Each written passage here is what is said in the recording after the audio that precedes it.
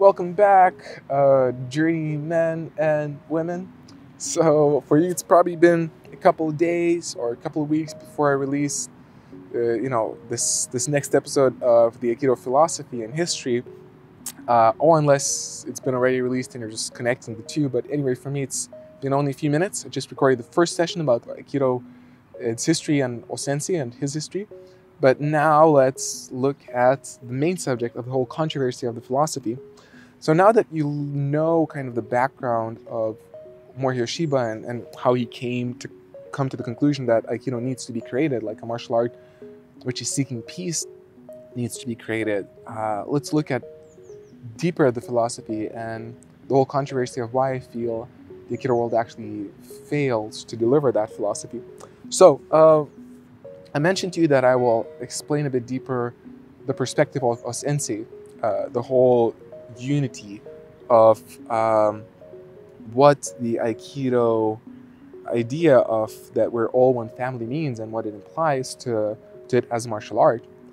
Uh, because Osensei, the founder of Aikido, he would often speak and say that we are all one family, we all come from the same source, and that was very related to his spiritual uh, kind of opening up, enlightenment, if you if you, if you want to say if you call it that, if you want to call it that, of his perception that we're all one, kind of that Zen state. Uh, I've uh, I'll just mention it briefly here, but I went down that road. You know, I explored that enlightenment thing and so on. There's a whole video about that. I call it I called it enlightenment is not uh, is not what you think. Uh, you can watch it there if you want more details. But I'm familiar with that subject, uh, and it's best perceived and understood through directly experiencing that kind of open state. Uh, but there's also a very good way of theoretically explaining it, of what that uh, that state is, and um, the way to explain it. Uh, there's a great, great story, kind of a simple, beautiful story to portray that message. Uh, and the story, for some reason, it's called the egg story. I can't know exactly remember why, and I'll just give you a brief version of it. But look it up online it's, it's definitely a story worth listening to. Uh, but the story goes that a person dies and uh, he goes to this heaven place or whatever. And uh, he meets this godly being and they have a conversation. And the guy who just died says, So where am I? And the, the godly being says, You're in this transitional state and uh, he says, So does that mean I'm going to move on to the next life, like reincarnate? And he's the godly being. He's like, Yeah, kind of, but not really. He's like, What do you mean? Well, he's like, You're not going to continue on in the same time. Like, you're not to go to the next life after this, your death. You're just going to move at a different life. And he's like, So I'm to exist at the same time. And he's like, The godly being, like, Yeah, so. So is that like he's like, is it the first time I'm doing it? And he's like, the godly being's like, no, actually it's been a long. It's like you're doing this for a while so the guy's like, so damn, I've been all those people that I loved. Actually, I, I, I was loving myself. I was I was them. And he's like, yep. And he's like, so that means all the people I hit are were myself as well. And the other guys, the God the being's like, yep. And he's like, so I was Hitler. It's like, yep. So I was Jesus. Yep. And then and then that's kind of the, the whole story.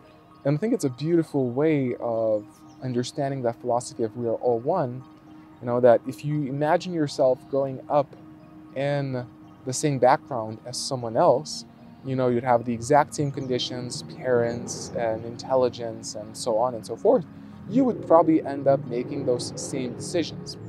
And so, so that whole notion of the X story kind of gives you a perspective that that you, there's there's a great chance that you know the other person is very much like you. He just had different uh, opportunities and then what would you do with that person if you were actually that person like what how would you want to act with that person if you were that particular person in that misfortune give an example. You know if you meet someone misfortunate and it's easy to kind of disassociate yourself and think you know oh it's his trouble it's his problem it's his you know bad i don't care about it my life is my life.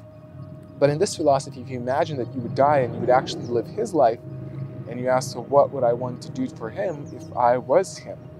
It's kind of a deep you know, rabbit hole, but but that's actually kind of the essential way to explain what the Aikido philosophy is, in my understanding, and that's what kind of Osensei, the founder of Aikido, that's what he was trying to portray. uh, he had that realization that we're all one, that we're all connected, and he asked the question: "So how do I create a martial art which respects that, which honors that?" And from what I understand, his his uh, intention was to create, and what he kind of aimed to do, and what kind of Aikido looks like. He aimed to uh, create Aikido in this way where it's very flowing, very connected. There's, you know, there's few punches. Like the the further he went, you could kind of see that he would reduce the, the punches and and the kind of techniques which are really damaging. That, that that that seems like that was the direction he was heading in. He was making it softer and softer, uh, and and it kind of sounds cool. And sounds cool because it seems like oh, so that would be, and that's what kind of uh, Aikido dubs itself as, as a martial art which doesn't hurt the other person who's attacking you. So, you know, that would be great for, for example, um, security guards or policemen, or if you want to sustain someone who's a close family member to you, like, you know, somebody's drunk in a party and giving trouble and you don't want to hurt them because, you know, he's like your, your cousin or whatever, but you need to sustain him somehow. Uh, so I, the ideal that Aikido was aiming for would be great in those situations. You know, you, you deal with the person without hurting him and you're respecting that we're all one. And, and if you would that, if you would be that person, that's the way you would want to probably be handled. Now, the reality, unfortunately, is different. And while, let's say, even if Osensei was able to do that because he was a talented martial artist, and maybe his top students were able to do that, there are stories that you know they would deal with conflicts efficiently. At the same time, historically, most of Osensei's students were achieved uh, martial artists in other martial, martial arts already. Most of them were high-level judoka or karateka. And since he was so famous, they would go to him and they would study with him and they would take on the aspect of Aikido, but they knew how to handle themselves. Like there's a story of one of the main, most talented students of, of Osensei, Koichi Tohei, who later went on to create this kind of spiritual style of his own. But I think he was really high level judoka, and there's a story where I believe a wrestler, like a Western wrestler, comes and challenges Koichi Tohei. And uh, actually, I think he challenges the school, you know, and says, you know, prove me that works. I know Sensei is already old, so he doesn't take it on himself and says, Koichi, go take care of it. And he deals with this high level Western wrestler he kind of uh, he, he he's able to win against him, but but I don't think it came just from Aikido. I think it personally I think it came mainly from you know his judo background and also to Aikido, especially in, in, in that kind of period. There was a while when Aikido or Sensei's dojo was called Oni Dojo. I think that's the Japanese term, or the Demon Dojo, because they would have like bloody knees and because of sitting on the knees all the time so much and they would train like like five times per day. The, the, training was hardcore. They were not like light and easy with each other and especially because if you look the first episode where you know the history of aikido a lot of the young japanese men they actually wanted to kind of they felt they lost their honor because japan lost in the war and they wanted to kind of win that back so they were really like you know aggressive and wanting to become powerful warriors. That's kind of one of the take where how you look which you can see when you look at the story. So, and uh, himself, he was a badass in his youth, and I think a lot of people were inspired about that too. So basically, had this culture of these young guys training like hell with heavy martial arts background uh, beforehand. So yeah, probably they were tough warriors as much as Aikido founder himself. But the thing is, the further he went, the more lighter he, he made Aikido, and the more softer and if you take, and this is kind of where I feel like Aikido is in the current day, if you take someone who just comes in into an Aikido dojo without any background in other martial arts, it's it's a whole subject, and I don't want to make this video about that. I explored it way too much in you know the martial arts journey channel. But basically, to give you a summary, Aikido is trained uh, in a way where where it's uh, there's no resistance. It's a very light way of training, very cooperative and while some Aikidoka believe that it's effective way of training, in reality, I'll just tell you short answer, it's not. If you want to learn to fight, you need to fight. And in Aikido, there's zero fighting. and or or zero actually real defending. It's just kind of choreography. You're just repeating the same motions uh, with a partner who's letting you do them.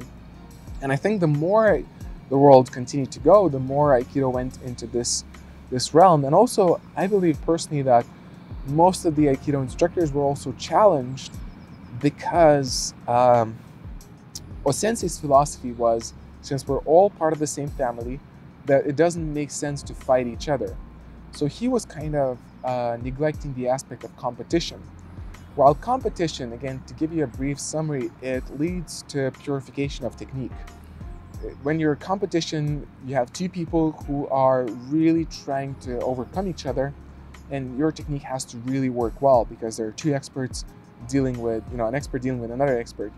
When there's no competition, there's no pressure testing, there's no uh, there's no uh, way for you to, there's no actually motive for you to really make your techniques work. You just kind of play around with each other and you think it works, but you never really test them with a person who's really trying to get you, especially in the styles such as Aikido, because that competitive aspect is disregarded. And there's one particular style of Aikido which does have competition, but even then it looks kind of weird. Long story again. But then I personally think that the world of Aikido was challenged because of that. And uh, Aikido students, the main high level students, they were left with the legacy of Morihei Ueshiba, very spiritual, very religious guy, believing in the mystics and so on, and believing in this world peace, and having went through this long journey to come to that conclusion. And most of his students were just badass martial artists who just wanted, you know, to to be great, and they wanted to learn from best. And since he was known as one of the best at the day. And so after his death, basically, you could look at it that way. You have a bunch of these tough guys who know theoretically the idea of Aikido's peace and harmony and so on and so forth, and they have to portray to other people, but they're not as established as in it as Osensei was. And everyone is kind of looking at them and expecting them to know what the heck he was talking about. But the thing is, one more thing, and a controversy and a difficult subject, kind of a challenge of Aikido, which sometimes is spoken of, sometimes it's people are silent about it. But I actually had the pleasure of meeting a person who was a friend of Morihei Ueshiba, the founder, and he's a Westerner. His name is Robert Nadeau, and uh, he would tell stories about like real life stories. He lived in Japan and, and met with Osensei many many times at his last kind of late latest late stage of his life, and so I would hear direct stories of what was really going on and one of the stories really struck me was that, uh, based on Robert Nadeau, uh, Osensei would sometimes go on these tangents where he would just start to talk about spirituality and kind of his religious beliefs, and he would do that for hours and hours. And he would do it instead of training. He was supposed to teach, but he would start to teach, talk about that spirituality side of things. And one thing is, first of all, Osensei was really deeply devoted to it, and and he was very he, his way of explaining his religious beliefs was very complicated. There was there were a lot of Shintoistic uh, theories and symbols and kind of religious beliefs and technicalities, kind of the whole mythology. If you weren't aware of, he would quote that all the time. He would use like terms like Izanagi, Izanami, uh, the Amma, or what's that? Anyway, I forgot. There's a dragon name which he believed he became an embodiment of. Like it's a whole complicated thing. And he would talk in those uh, kind of complicated aspects and nobody would get it. Nobody would, knew what he's talking about because he had, again, those a bunch of young badasses who had no clue about spirituality or religion. And, and so sometimes Osensei would go into these tangents, which not a lot of people understood what he's talking about. That was the difficulty. If you read some of the translations, it's like, even today, it's like, what the heck he's talking about. Like, there's some ideas which, like, there's this small, small great, great book, Art of Peace, where some of his best ideas and most simple ideas are, are portrayed also in English, and they're beautiful. Some of them are really nice. But even then, sometimes some of them are like, what the heck is he talking about? But if you read some of the bigger books of how he spoke and, and what he spoke about, it's like, holy crap. It's, it's, a, it's a maze there. And so back to Robert Nadeau, he's sitting there and Osensei goes on a tangent, and uh, a couple senior students are standing by the door, and they see, and he witnesses that, Robert Nadeau witnesses that. He sees some of his, uh, some other students are kind of, you know, late to class or coming to the next class, and they're heading towards the dojo, and the senior students come out and say like, you know, like show him, don't come, like, you know, the guy is talking. There's going to be no class. Don't don't waste your time. And those were, based on the story, those were senior students of Morihei Ueshiba. So that shows that they weren't deeply interested, or most of them weren't deeply interested in what he was talking about. Yet now, after you know they're being sent to the world to spread the word of Aikido, or especially after Osensei's death, everybody's looking up to them. Everybody wants them to, to explain to them like what is that thing that Morihei Ueshiba was talking about, and they have no clue and they have to guess. So that's a huge challenge that I think most of them never overcame, and I think most of Aikido students are still struggling with it, or instructors. They're trying to make sense of what Osensei was talking about, but it was it's so tough to get to the point of it. And then you have the physical aspect, which is an important thing to address as well. Because thing is, if you want to defend yourself, there's almost no way to avoid violence. Unless you're talking your way out, maybe, you know, or you're showing that you can defend yourself and this, the conflict stops. That's kind of how Morihei Ueshiba did it a few times in his life based on the stories. But thing is, uh, without violence, it's almost impossible. And, and the, the, the, irony is, even if you look at most of Aikido techniques, uh, they're potentially deadly. Most of them. Like uh, Shihonage, where you turn under the arm and you throw the person to the ground. If the person doesn't know how to fall, and if you don't know what I'm talking about, I'm putting on a video right now. If you don't know how to fall, there's a huge chance you will hit your head at, at concrete with the back of your head and you might die easily. Some of the throws as well, if you don't know how to fall, you will get injured badly.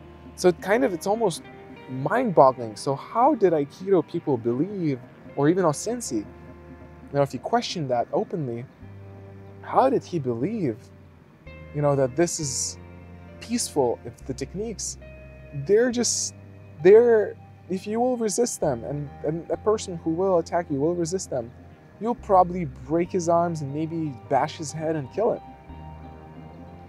And you know, you could continue on to talk about this whole bigger aspect of protection. Or in other words, you know, you're killing that person or you're injuring him for the sake of the better whole. You know, you're protecting him from himself. But I never heard particularly Morihei Ueshiba talk about that himself. Now, if you're looking at the martial arts aspect of Aikido, um, like like or the, the aspect of protecting an attacker from himself, the best solution that I've come across through training martial arts in a devoted way for years is Brazilian Jiu-Jitsu.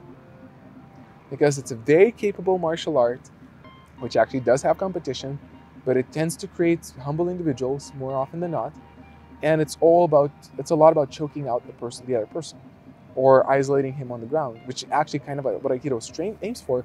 But if you really want to create a peaceful outcome without hurting the other person, choking out the person is the best possible solution. Because you're not hurting him, he's passing out. And the thing is, and that's what uh, one of my uh, main mentors and friends and friend talks about, uh, Matt Thornton, head coach of Straight Blast Gym. He, he, he, he talks about this, and I, I agree with him 100% because pain compliance is not always going to work. If a person is on drugs or intoxicated or the adrenaline comes in, you can break his arm and he can still attack you. The body can do amazing things. But then if you choke a person out, he's out. And he cannot do anything about it. So if you want to if you want to find a martial art which is really effectively can deal, potentially can deal with a physical conflict in a peaceful way without hurting another person, Brazilian Jiu-Jitsu is your best take in my, in my opinion. Uh, Aikido, unfortunately, is not. Not that I can perceive in any way. The best thing that I think Aikido can strive for, and hopefully it does create, is if, if, if, if someone, if the Aikido community keeps talking about that whole notion of we are one and being able to, to uh, focusing on conflict resolution and that's what, again, oh, Aikido founder would, would talk about that. He would say that Aikido is the way to reconcile the whole world. In that way, if you have that philosophy and somebody wants to attack you, if you're a badass fighter and you have none of that philosophy, maybe you'll just, you know, kick the crap out of that person and accidentally kill him. But let's say, hopefully, you, let's say you don't kill him, but you just kick his ass and you're like, fuck you, man. And you don't, don't give a fuck and you walk away. You don't even, you know, bother to talk with him. Although, I, honestly, I think like if you're a decent, good practitioner of, let's say, Brazilian Jiu Jitsu, most likely you won't even just get into that fight because you also have the confidence. You know that you could take care of that person. And if you're realistic, you know that even if you're a black belt in Brazilian Jiu Jitsu, you may still get killed accidentally. Maybe there's another guy, or maybe he has a knife, or maybe you know you don't see, you don't you don't see the attack coming. You're not an invincible human being, and so you don't get into the fight. But you also know you can handle yourself. With Aikido, if you know my background, you know you might know this part of the story. I trained it for more than a decade I was an instructor of it, but I always had doubts when somebody would threaten to attack me because I knew I'm not actually, I deeply inside, I knew that I'm actually not capable of defending myself because the martial art is flawed the way it's trained. So even that, it actually failed to do because, as my friend Francisco uh, de los Cobos says, uh, I really like what that, that phrase, if you're not capable of war, then you're not, you cannot be a real pacifist. You know, if you are being a pacifist and you're trying to find a peaceful resolution because you know that you don't have an alternative, that's not real power. You know, you're just trying to kind of get out of the situation. But if you are a badass fighter and then you choose to not kill someone or not hurt them, and then you choose to be a pacifist, then you're a pacifist. But let me stress that again. If you don't know how to fight and you feel threatened and you're like, oh, let's not fight, let's not fight, but you're saying that because you're afraid of what the other person is going to do if you're going to fight him, that's not real peace. And that's one of the aspects where I feel like Aikido is failing. You know, it gives that image of creating, and I think that was one of the images of kind of visions of Osensei, the founder of Aikido, to create these badass fighters, badass warriors who would be able to defend themselves and others, but they would choose not to. I mean, they would choose not to hurt you know, they would talk their way or they would restrain the other person and say, look, man, you don't want to do this. This is not your day. There's a famous story actually. And funny enough, it's written, oh, well, actually, I read it written not by an Aikido guy, but it's written by an Aikido guy, one of the famous uh, Westerners who trained with Morihei Ueshiba in his earlier days. Slipped my mind now. It's, it's a well sounding name. Anyway, so he wrote the story where he was actually one of those tough young badasses who didn't care about the philosophy so much and he wanted to test his Aikido. And he was sitting in a train, and there was a guy, like a drunk guy, a Japanese guy, walking through the, the train aisle and just making a fuss. And he really, the, the guy, uh, he really wanted to test out his Aikido. And he felt like whenever the guy is to come, I'm just to bash him to pieces. But before the drunk guy came to him, another Japanese guy stand, stood up and you know, went to him and kind of hugged him and said, "Man, come on, like, what's up? Like, are you having a bad day? You know, can we talk about this?" And they sat down, and the drunk guy started crying. Terry Dobson, I think that's the West name. Anyway, so the guy, the guy started crying. The drunk guy started crying and apologizing and saying, "We had this shitty day. Like, please forgive me. I don't know what I was doing." And and Terry Dobson, if I remember the name correctly, he thought and said to himself, "No, that's Aikido." But the thing is, that guy wasn't even training Aikido, the one who made that solution. And Terry Dobson, at the day, he wanted to bash the guy to pieces while training Aikido. So you can see how, how it didn't all line up. And I think it doesn't still till today. And it's crazy. It's crazy, crazy, crazy that it doesn't. So I'm hoping that you're starting to see through this narrative in what a challenging situation the Aikido community is. That, you know, it's kind of, it has this huge promise, which is super hard to live, to make a reality, even if you're a badass martial artist. But then it has a flawed teaching mechanics and uh, it doesn't give you the tools to do it, but it expects you to do it. And then you have this narrative of a sensei who was just like, you know, in his own head had this whole complex understanding of spirituality, which few people got. And so that's why I think Aikido is one of the main, one of the reasons why, not the only one, but one of the reasons why Aikido is in a crisis these days. I believe so. Few people choose to train Aikido, especially younger guys. They, they, they perceive soon enough, especially with all the YouTube videos out there who show the flaws of Aikido, including my own, they see that Aikido doesn't give the power in reality which it's promising to give. And then they they do want that power. And then if you're not offering the power, you cannot offer the peace. And also too, few Aikido dojos actually talk about the peace. Not few, but not all of them. Like there's some who just train in kind of dead patterns and expect to become enlightened somehow just on the side and it doesn't happen. There's there's a wonderful story. Uh, there's actually a great book, Remembering O-Sensei, where a bunch of his senior students and close friends share short memories of him. And there's one which really stuck with me. It's where one of his senior students, there a bunch of them were walking together with O-Sensei, Aikido's founder. And, uh, and and actually, when you listen to the narrative, to the story of Morihei Ueshiba, he actually admitted on record quite a few times that he felt misunderstood. He felt like his students are not getting him, and and he would kind of complain to some people, like dear people to him. He's like, I'm not able to, you know, deliver my message. And I think that was that was reality. That was the truth. And he was a great uh, practitioner, but he wasn't a great teacher. I think he would barely explain techniques. He was teaching in an old school way, so that's a flaw as well. But then the story goes that he was walking down the road with a bunch of his senior students, and he was saying something like along the lines of, I see people walking together with me, but when I turn back, I realize there's no one really walking with me. And the guy who was saying that story, he said initially he didn't understand what he means, but years later he understood that that's exactly what O-Sensei was talking about. That that he realized, he saw that no one really is following this path that he really wants to deliver. I think partly because he failed to deliver it as, as you know, as much as it's too bad to say, to admit. There's another story, a great one, which I mentioned. Uh, it's also from the same book, so just you know, buy it and read it if you want to know more about this stuff.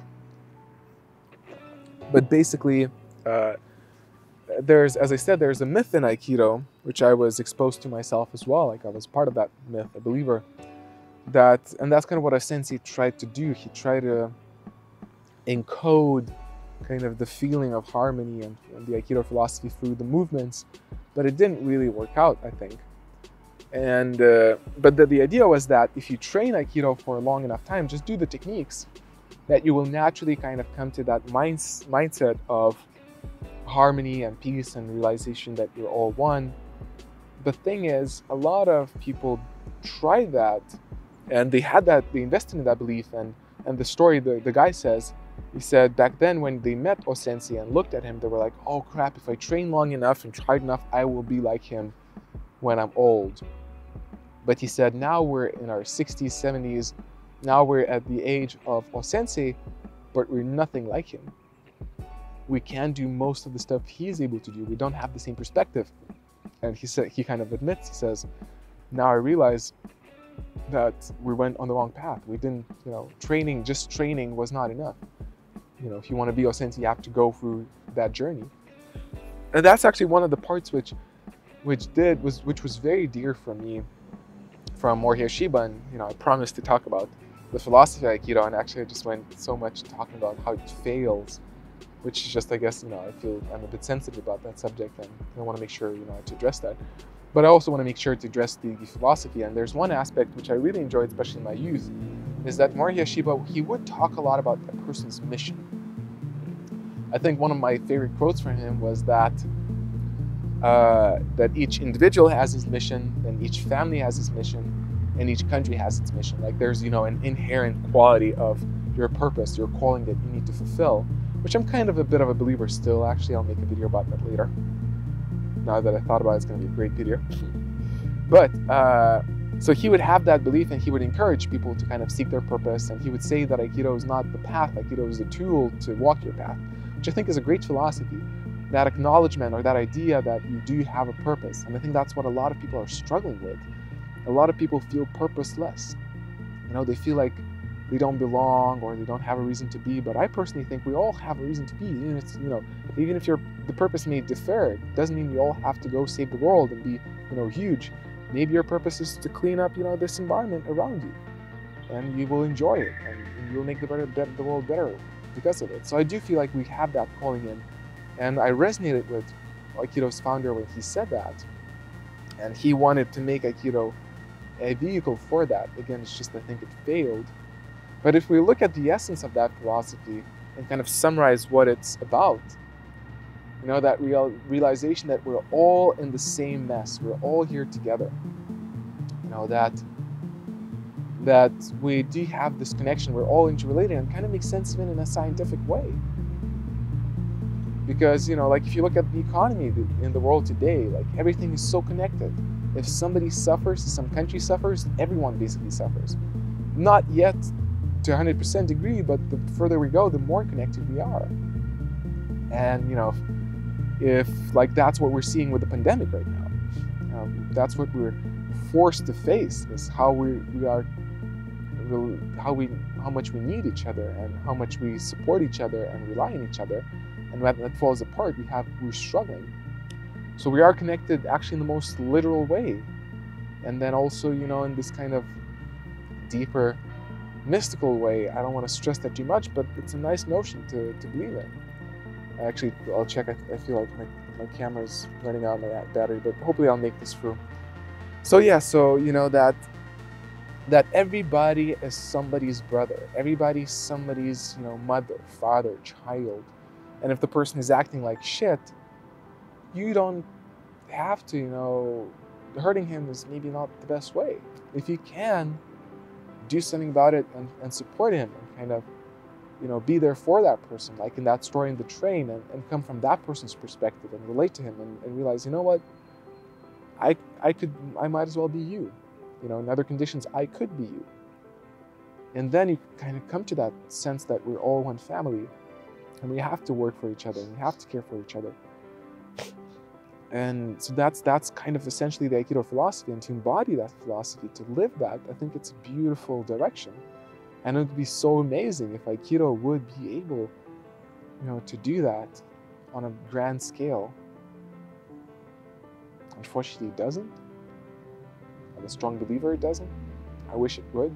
I guess I don't know if it's better than nothing. I guess it's better than nothing. You know, it's being spoken about. But you know, words are not enough. Thoughts and ideas are not enough. Again, that notion of war and pacifist. Know, you have to, I think, to a degree, if you want to embody the philosophy of Aikido, you have to be a badass. It's a warrior culture. It's a path of a warrior. So you do need to be extremely powerful, aim for that, and then choose to go out there and make the world better. That's something I still believe in today, and that's what I, I, I want to fight for myself now that I think of it. It's kind of almost a realization moment for me. I'm like, holy crap, there's part of Aikido which I do enjoy still, besides all the shit. So yeah, what would happen if we would be able to take that idea, that philosophy of Aikido, and make it realistic? That'd be pretty cool. And I don't want to be like delusion and be like, oh, you know, you can be a almighty warrior and you know go out there and and uh, kind of uh, end violence without violence. I do think you know violence sometimes is necessary. Not all about peace, peace, peace, but to add that at least a little bit to our lives, that would be pretty cool. Yeah. So as always, I could talk more, and you know it's an endless subject. Maybe we'll come back to it. I think it's it's a good one to look at. But all of that said, I hope for this kind of a bit of a messy jumping around and whole narrative, you have a better understanding of where Aikido comes from and what Aikido aims to be and why most probably it fails, but also how potentially we could take a bit of that and add it to our lives. And, and you know what? Now that I'm talking about that, maybe that's the video and direction I should look at.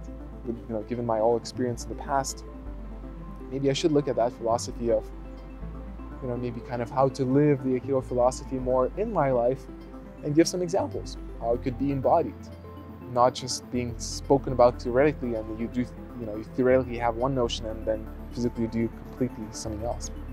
You know, walk the talk. it's an interesting idea. It's an interesting direction. Maybe we'll go look into it. And if you want to look into it more, let me know in the comments. Until then, keep questioning.